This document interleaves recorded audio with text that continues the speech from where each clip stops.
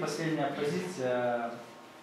Визир, опять же, можно его и в открытом грунте выращивать, это идет позиция для теплицы. Он идет высокорослый, очень урожайный гибрид, э, очень устойчивый к переноспороду, к фитофторозу, к альтернариозу. И без горечи и с хорошими вкусовыми показателями.